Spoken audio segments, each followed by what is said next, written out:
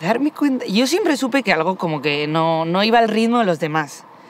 Porque siempre eh, cargué con la etiqueta de marimacho desde muy chiquita. Bueno, desde muy chiquita, desde siempre. Entonces, pues bueno, yo me llevaba muy bien con los chicos y de alguna manera como que me sentía muy afín en muchas cosas. Entonces, pues siempre supe que iba a ir como a un ritmo diferente.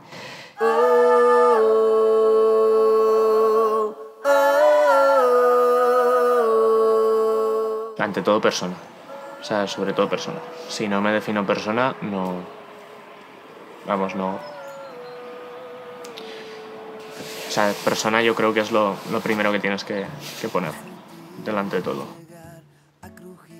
Es mi identidad de género y eso no solamente no puedo dejar de vivirlo, sino que tampoco puedo cambiarlo.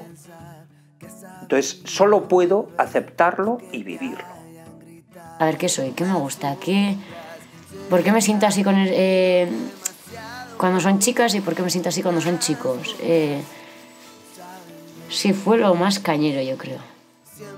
Es una locura el que tú quieras a una persona, que te enamores y que no puedas decirlo a las amistades que vamos conociendo juntos, ¿no?